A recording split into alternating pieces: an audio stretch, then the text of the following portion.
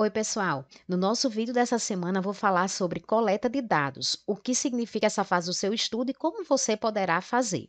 Eu trouxe quatro exemplos para a gente identificar aqui em cada um quais foram as técnicas de coleta de dados que eles utilizaram aqui em cada estudo a partir do objetivo que foi definido. Então, estou aqui com o primeiro exemplo, né, um trabalho sobre obstáculos na assistência de enfermagem à pessoa com diabetes. Então, um trabalho desses autores aqui. Aqui no resumo, a gente já vê o objetivo do trabalho, que é descrever os obstáculos vivenciados por enfermeiros na assistência à pessoa com diabetes. E aí aqui eles já colocam um método. Eles dizem: é uma pesquisa qualitativa com 15 enfermeiros de um hospital de ensino do Rio Grande do Sul. A coleta de dados ocorreu entre outubro e novembro de 2019, produzida por meio de uma entrevista semi-estruturada. Então, quando os autores já falam em coleta de dados aqui, o que é que eles estão querendo dizer? O que é que isso significa? Os dados, eles são todas as informações que os autores precisam para atenderem um objetivo que está aqui em cima. Então, veja que você define o objetivo do seu trabalho e a partir daí você vai pensar como é que você vai coletar dados para responder a esse objetivo que está aqui para descrever aqui os obstáculos vivenciados pelos enfermeiros, o que é que eles precisam? Eles precisam de informações. E são exatamente essas informações que serão geradas por meio dos dados que eles vão coletar. Quando você define o objetivo do seu estudo, então você precisa já saber como é que você vai coletar esses dados, né, que atendem esse objetivo. Aqui no resumo, eles colocam de uma forma bem sucinta como foi que eles fizeram isso, mas a gente vai ver que lá na metodologia eles vão detalhar bem como você como foi feita aqui realmente a coleta dos, dos dados. Então, eles colocam que foi feito aqui por meio de uma entrevista semi-estruturada, que é aquele tipo de entrevista onde você vai relacionar os principais tópicos, mas você pode alterar é, esses tópicos, incluir novas perguntas ao longo da conversa. Né? A gente tem um vídeo aqui no canal é, já falando sobre isso. Eu vou deixar a indicação aqui caso você precise ver qual a diferença do entrevista estruturada para o entrevista semi-estruturada. E aí, aqui ele fala basicamente isso, como foi que ele coletou. Só que quando você vai para ler a metodologia aqui do artigo, você vai ver um detalhe maior sobre essa coleta. Então, é sempre importante você dar uma olhada, né, além do resumo, como foi que a pessoa fez a coleta de dados no trabalho, é para ver se encaixa no que você está querendo também, você lê também a metodologia. Então, a gente vem aqui na página 3 do trabalho, e aí quando a gente vem, a gente percebe que eles entram aqui falando que é uma pesquisa qualitativa realizada em um hospital, os participantes do estudo foram enfermeiros, então você precisa dizer com quem você coletou esses dados, você precisa dizer como essas pessoas foram selecionadas, então qual o critério que esse enfermeiro tinha que ter, né, para que ele entrasse aí no seu estudo. Eles colocam, estes foram selecionados a partir dos seguintes critérios, ser enfermeiro da unidade há mais de seis meses, então você vai colocando aqui os critérios que a pessoa precisa ter para fazer parte do seu estudo. E tem critério de exclusão, o que é que a pessoa, é, se a pessoa tiver determinada característica, ela não vai participar do seu estudo. E aí eles colocam, é, como critério de exclusão, foram considerados enfermeiros em licença saúde ou férias. Então, ou seja, esses daqui não vão participar do, do meu estudo, né? E aí eles colocam aqui que participaram 15 enfermeiros. É possível sim fazer a entrevista com cada um, as entrevistas individuais, eles vão fazer. Por quê? Porque é um número pequeno de pessoas. Então, a coleta de dados por meio da entrevista ela é viável. Você tem que pensar nisso. Quantas pessoas você vai querer que respondam a, a, o seu trabalho? E aí você vai ver a melhor técnica de coleta de dados para isso. Depois eles colocam aqui, né, que a, a, técnica de coleta de dados foi entrevista semi-estruturada, como eu já falei, elaborado um guia contendo perguntas abertas e fechadas. Então é importante você dizer isso. Que tipo de pergunta, que tipo de questão tem nessa nesse instrumento que você vai coletar os dados? As entrevistas foram desenvolvidas individualmente, em horário previamente definido com os participantes. Conte o passo a passo da sua coleta de dados. Então, como você coletou esses dados na, na sequência do que os fatos ocorreram, você precisa colocar aqui na metodologia. Então, eles disseram que foram aqui realizados em uma sala reservada no hospital, conforme escolha do entrevistado. A primeira pergunta aberta foi essa daqui, posteriormente seguida de outras perguntas. Né? As 15 entrevistas foram gravadas, resultando em arquivos de áudio, e logo foram transcritas na íntegra pela primeira autora. Ou seja, aqui, pessoal, na seção da metodologia, vocês precisam explicar com detalhes como ocorreu a coleta. Então, nesse primeiro exemplo aqui, a gente já está dando para perceber que a coleta de dados ela depende totalmente do objetivo do trabalho e de quantas pessoas vão participar do estudo.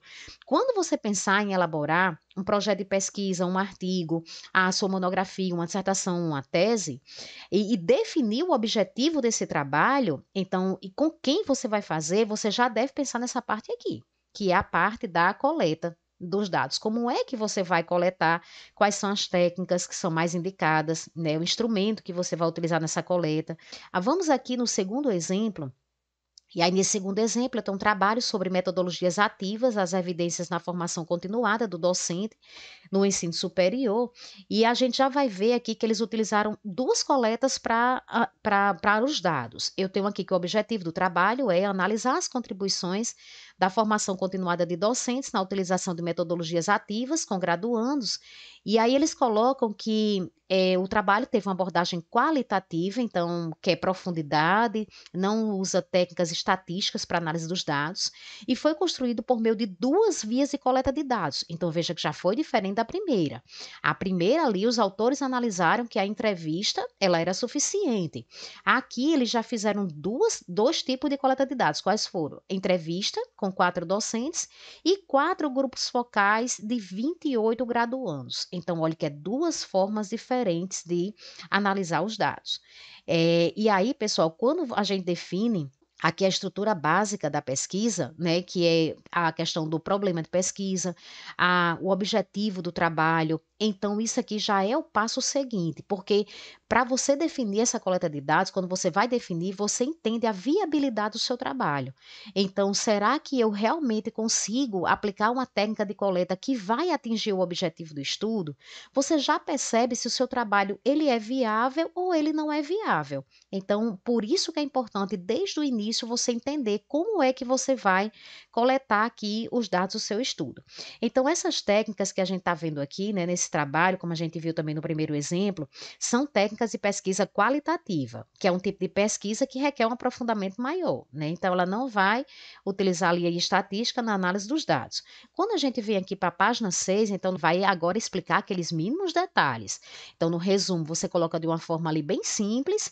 Agora, quando chegar aqui na metodologia, explique o passo a passo como foi que realmente você coletou esses dados. É, ele coloca, os autores colocam que a coleta de dados foi feita por meio de duas vias, a entrevista semi-estruturada com quatro docentes e grupo focal com estudantes de quatro cursos. Os docentes que participaram da pesquisa atenderam os seguintes critérios, foram aqueles que a gente viu né, no exemplo passado, que tem que ter o critério de inclusão, critério de exclusão. Então, você coloca, sempre explicar direitinho aqui na metodologia como foi. Os quatro grupos focais foram constituídos por estudantes do curso correspondente ao professor entrevistado. Um grupo focal teve seis estudantes, dois grupos, sete estudantes e um grupo, oito estudantes. Então, no grupo focal, como é que você faz aqui? A gente tem um vídeo também aqui no canal falando sobre grupo focal, vou deixar a indicação também aqui para vocês. Então, no grupo focal, os autores, como é que eles fazem? Eles convidam pessoas para participar da discussão sobre um determinado assunto. Ele faz ali um círculo, né, e ele vai conversando com aquelas pessoas sobre determinado assunto. Então, geralmente, no grupo focal, os participantes, eles possuem alguma característica em comum. Nesse caso aqui, a gente está vendo qual é a característica comum dele. A gente está vendo que são estudantes. E aí, pronto, eles desenvolveram essa, essa, com essas duas técnicas de coleta de dados, eles vão escrever, coletar esses, esses, esses dados aqui, analisar e vão escrever aqui os resultados que eles chegaram para quê? Sempre visando atingir o objetivo do, do estudo deles, né? Que já está aqui logo no início do, do resumo e está também na introdução do trabalho. Aqui, pessoal, no terceiro exemplo que a gente vê, a gente já tem outra técnica de coleta de dados. Aqui a gente vai ver que eles fizeram a observação. Então, eles colocam aqui, então, quando a gente vê aqui na página 3, a gente vai ver o detalhe aqui que ele vai escrever no método do trabalho como foi feita essa observação. Também é uma pesquisa qualitativa, os instrumentos utilizados para coletar os dados, né, nota de campo e observação participante aberta, é, assim como entrevistas informais. A técnica de observação participante entende-se como quando o participante é parte dos eventos pesquisados e a observação aberta, quando o observador é identificado e os sujeitos sabem que estão sendo observados. Então é o seguinte, Quando você faz uma observação, você precisa ver, ouvir e examinar fatos ou fenômenos. Você vai examinar o comportamento natural das pessoas naquele ambiente que você está. Então, você tem que ir para um determinado ambiente e observar a, a, o comportamento daquelas pessoas. E aí você vai escrever aqui: o local no qual foram realizadas as observações foi um programa socioeducativo. Então, explique direitinho qual era o local, o que é que essas pessoas estavam fazendo, quando você desenvolveu a sua observação. E os autores colocam: os procedimentos realizados consistiram, primeiramente, em contatar o local, explicar a proposta e receber autorização. Então, isso aqui é importante você explicar. Foram realizadas sete observações, olha, como eles coletaram os dados por meio de sete observações de aproximadamente 2 horas e 20 minutos cada, todas no período da manhã, uma vez por semana. As oficinas observadas foram oficina psicologia, artes, balé e judô. Após cada observação foi feito o registro nas notas de campo.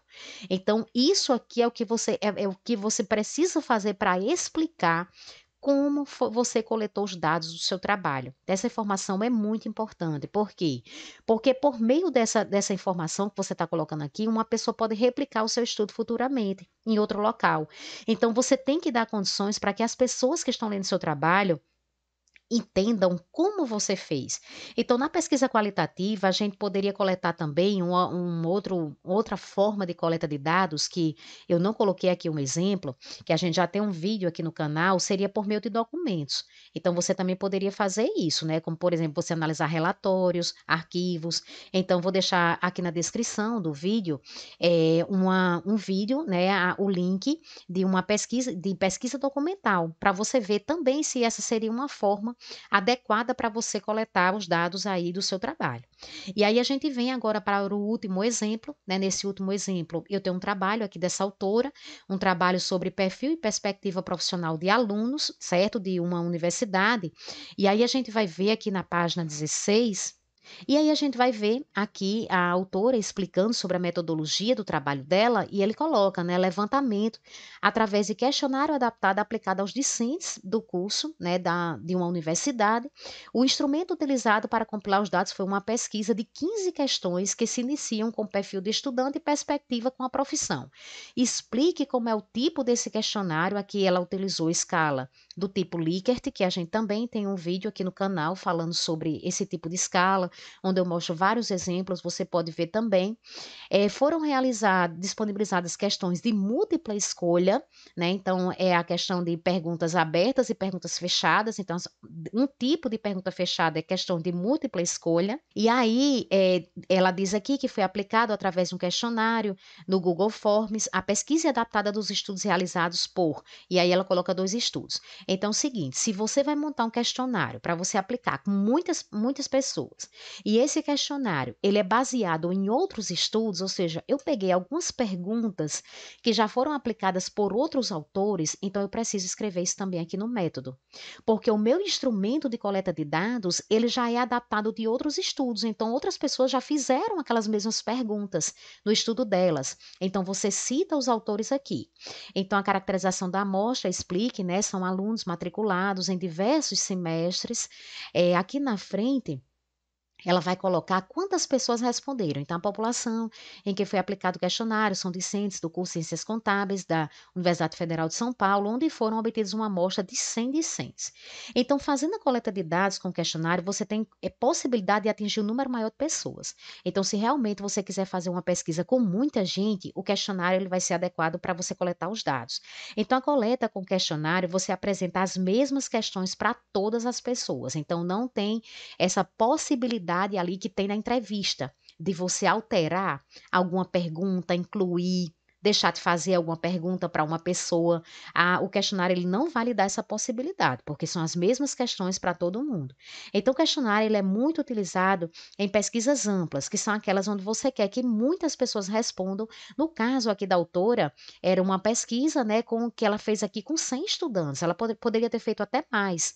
Então, depende muito do, de quantas pessoas né, ali estão disponíveis para participar do estudo. Ok, pessoal? Então, aqui no vídeo hoje a gente viu coleta por meio de entrevista, vimos por meio de grupo focal, de observação e de questionário. Um abraço e até a próxima.